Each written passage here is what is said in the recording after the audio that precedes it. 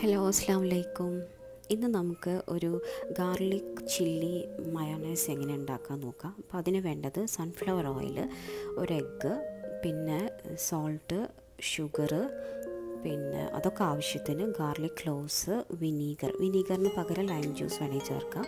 പിന്നെ ഇത്തിരി chilli powder അല്ലെങ്കിൽ പെപ്പർ പൗഡർ ഇനി ഇതെല്ലാം കൂടി നമുക്കൊന്ന് ബ്ലെൻഡ് ചെയ്തെടുക്കണം ഓയിൽ ഒഴികെ. അപ്പോൾ ആദ്യം നമുക്ക് ഇതെല്ലാം കൂടി ഇതിൽ ചേർക്കാം. ഇനി ചില്ലി പൗഡർ ഇല്ല പാപ്രിക്ക പൗഡർ ഇല്ല ഇതിന് പകരം വേറൊരു ഫ്ലേവർ വേണമെന്നുണ്ടെങ്കിൽ നമുക്ക് ടിക്ക പൗഡർ ചേർക്കാം. അപ്പം അത് വേറെ നമ്മളൊരു ഇന്ത്യൻ സ്റ്റൈൽ ഒരു ടേസ്റ്റ് കിട്ടും. അപ്പോൾ എല്ലാം ഓരോന്നോരോന്നായിട്ട് ആഡ് ചെയ്യാം.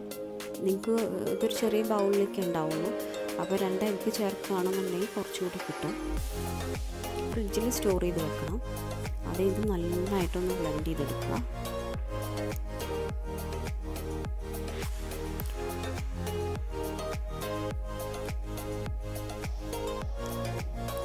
എന്നിട്ട് കുറേശ്ശെ കുറേശ്ശെ ഓയിൽ ഒഴിച്ചു കൊടുക്കുക. കുറേശ്ശെ ഒഴിക്കാൻ പാടുള്ളൂ. എന്നിട്ട് നമുക്കത് തിക്കായി വരുന്നത് വരെ അത് ഒഴിച്ചു കൊടുക്കണം.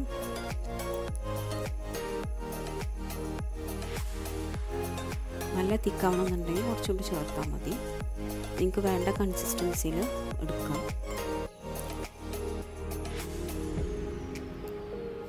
ഇപ്പം ആയിട്ടുണ്ട്. ഒരു ബൗളിലോട്ട് മാറ്റാം. ഇത്രയേ ഉള്ളൂ. ഇത് സിമ്പിളാണ് എപ്പോൾ വേണമെങ്കിലും നമുക്ക് ഉണ്ടാക്കിയെടുക്കാവുന്നേ ഉള്ളൂ.